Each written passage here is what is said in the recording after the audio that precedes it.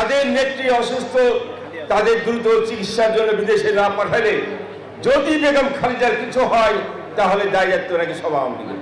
কেন? বেগম খালেদার কিছু হলে দায়িত্ব আওয়ামী লীগের কেন হবে? এই বেগম খালেদার বিরুদ্ধে টিমের টাকা সাতের মামলা করেছিল কারা? তত্ত্বাবধায়ক সরকার দুই হাজার সাত সালে। আওয়ামী লীগ করে নাই। আজকে সেই মামলায় নিজেকে নির্দোষ প্রমাণিত না করতে পারার কারণে দণ্ডপ্রাপ্ত হয়ে বেগম খালেদা কারাগারে ছিলেন। আমাদের প্রধানমন্ত্রী শেখ হাসিনার মানবতায়, তার মহানুভবতায় আজকে উনি বাসায় বসে চিকিৎসা নিচ্ছেন। বিএনপির উচিত ছিল এই জন্য জনতা শেখ হাসিনার প্রতি কৃতজ্ঞতা প্রকাশ করা। কিন্তু এরা করবে না। এরা পাকিস্তানের বেজাত্তা এরা এই দেশের স্বাধীনতার সামনে বিশ্বাস করে না। এদের মধ্যে গণতন্ত্র নেই, এদের মধ্যে সভ্যতা নেই। যার ফলে তাদের মুখ দিয়ে এখন অসভ্যকর হতরা শোনা যাচ্ছে। আমরা বলি মির্জা ফখরুল সাহেব, বেগম খালেদার চিকিৎসা নিয়ে আপনারা নাটক করছেন। যদি আপনারা মনে করেন বেগম খালেদা জিয়ার উন্নত চিকিৎসার জন্য বিদেশে নিতে হবে, তাহলে কেন আইনি প্রক্রিয়া যাচ্ছেন না আপনারা? সকাল বিকালে রাস্তায় বসে মিটিং করে নাটক বন্ধ করেন। আপনারা আইনের প্রক্রিয়ায় যান। বেগম খালেদার চিকিৎসা নিয়ে নাটকবাজি আপনারা করতেছেন। যদি বেগম খালেদার কিছু হয়, দায়িত্ব বিএনপি এই শীর্ষ নেতাদেরকে বহন করতে হবে। অন্য কারও নয়। অনুষ্ঠিত হবে এই বছরের ডিসেম্বরের শেষ সপ্তাহে অথবা চব্বিশ সালের জানুয়ারির প্রথম সপ্তাহে। আর এক মাস পরেই নির্বাচনের তফসিল ঘোষণা হবে, আমরা আশা করছি। নভেম্বরের প্রথম সপ্তাহে নির্বাচনের তফসিল ঘোষণা হবে। সারা দেশের মানুষ অধীর আগ্রহে আছে আগামী জাতীয় সংসদ নির্বাচনে উৎসবকর পরিবেশে আবারও ভোট দিয়ে আমাদের মাননীয় প্রধানমন্ত্রী শেখ হাসিনা নেতৃত্বে আওয়ামী লীগকে আবার রাষ্ট্রীয় ক্ষমতা আনবে, এদেশের উন্নয়ন অগ্রগতি ধারা বজায় রাখার জন্য। মানুষ যখন আজকে উন্নয়নের ধারা বলতে থাকতে চাই সে সময় আবার নতুন করে ষড়যন্ত্র শুরু হয়েছে। আপনারা দেখেছেন, বিএনপি এবং জামাত যারা একাত্তরে পরাজিত শক্তি এবং পাকিস্তানের সৃষ্টি এই বিএনপি জামাত এখন নির্বাচন বানচাল করার জন্য তারা রাজপথে নেমেছে। তাদের লক্ষ্য নির্বাচন বানচাল করতে হবে। নির্বাচন বন্ধ করতে হবে। কি কারণে? কিসের কারণে?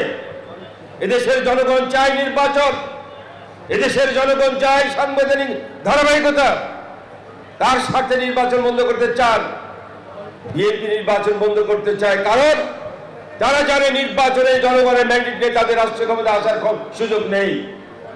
এই বিএনপি যখন ক্ষমতায় ছিল, তখন এই দেশকে সন্ত্রাস দুর্নীতিবাস এবং জঙ্গিবাদের চারণভূমি বানিয়েছিল।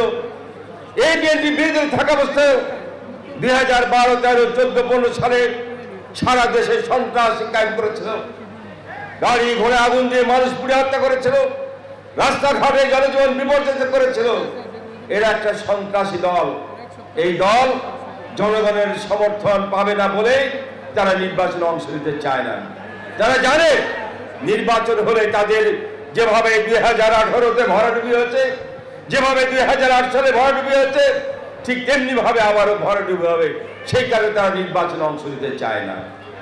নির্বাচন বানচাল করতে চায় আমরা বলেছি এদেশের সত্তর ভাগ মানুষের সমর্থন জনটি শেখ হাসিনার প্রতি আছে। এদেশের সত্তর ভাগ মানুষের সমর্থন বর্তমান সরকারের প্রতি আছে, আওয়ামী লীগের প্রতি আছে। সত্তর ভাগ মানুষের বেশি যার সমর্থন, তাদেরকে আন্দোলনের করে ক্ষমতাচ্যুত করা যায় না। তাদের কর্মকাণ্ডে বাধাগ্রস্ত করা যায় না, এটা মাথায় রাখতে হবে। বিএনপির আজকে নেতৃত্বের কথার তাদের একটু উদ্যত দেখা যাচ্ছে। গতকাল দেখলাম মির্জা ফখরুল সহ কয়েকজন বলছেন, বন্ধুরা, আমার আমি একটা কথা বলে শেষ করতে চাই। আপনারা দেখেছেন, আগামী জাতীয় সংসদ নির্বাচন আবার সুষ্ঠু করার লক্ষ্যে আমাদের এক মহা শক্তিধর রাষ্ট্র ওনারা ভিসা পলিসি ঘোষণা করেছেন।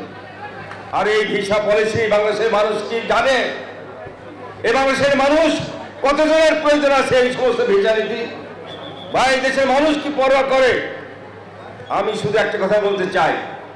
আমাদের মাননীয় প্রধানমন্ত্রী বলেছেন, আমরা আগামী জাতীয় সংসদ নির্বাচন আবার সুস্থ করতে বদ্ধপরিকর তা আপনারাও যদি চান তাই, তাহলে সমস্যাটা কোথায়?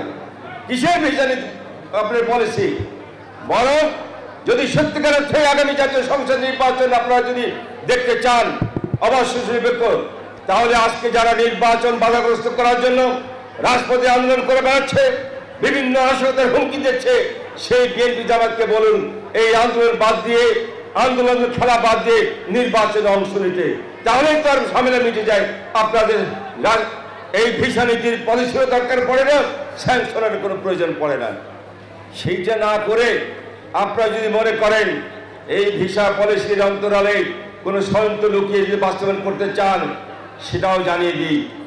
বাংলাদেশের মানুষ, আমরা বঙ্গবন্ধুর আদর্শের সৈনিক, আমরা বঙ্গবন্ধুর কন্যাযন্ত্রী শেখ হাসিনার কর্মী, আমরা একাত্তর সালে নয় মাস যুদ্ধ করে দেশ স্বাধীন করেছি। আমাদেরকে কোনো হুমকি দিয়ে লাভ হবে না। কীভাবে ষড়যন্ত্র মোকাবেলা করতে হয় এই বাংলাদেশের মানুষ জানে। আওয়ামী লীগ নেতা কর্মী জানে। যদি কোনো ষড়যন্ত্র কেউ করতে চান, পরিষ্কারভাবে জানতে চাই, আগামীতে সকল ষড়যন্ত্র প্রতিহত করেই আমরা জাতীয় সংসদ নির্বাচন নির্ধারিত সময় করে যখন শেখ হাসিনার নেতৃত্বে আমরা আবার সরকার গঠন করে আমরা দেশকে এগিয়ে নিয়ে যাব। আপনাদের সেই প্রত্যয় ব্যক্ত করার জন্য উদাত্ত আহ্বান রেখে আমার কথা শেষ করছি। জয় বাংলা, জয় বঙ্গবন্ধু।